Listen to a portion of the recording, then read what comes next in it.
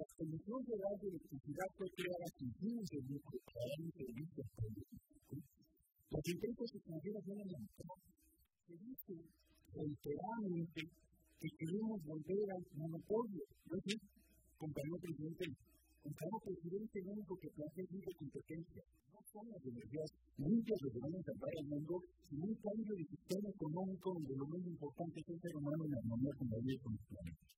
Cada que queremos tomar una decisión soberana nos, amenazan porque se nos va a venir el mundo encima. Que vamos en sentido contrario. Pues claro que vamos en sentido contrario, vamos en sentido del beneficio del pueblo, vamos en sentido del beneficio de nuestra patria, vamos en sentido de servir a la humanidad, vamos en sentido de comprometernos lo que es justo. En ese sentido vamos y efectivamente vamos en sentido contrario. Por eso porque ustedes entregaron todo el cuerpo aeropuertos, carreteras, playas, minerales, ferrocarriles, agua, telecomunicaciones, sol, aire, todo.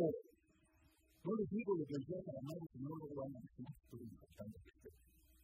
Pero no precisaron más.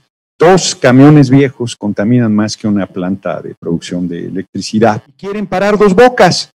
O sea, quieren parar la refinería que va a mejorar los combustibles de este país y que nos va a devolver la autonomía en materia de gasolina, porque importamos el 78%, pero dicen que están muy preocupados del medio ambiente. Están defendiendo empresas extranjeras, hombre. Ese es el tema.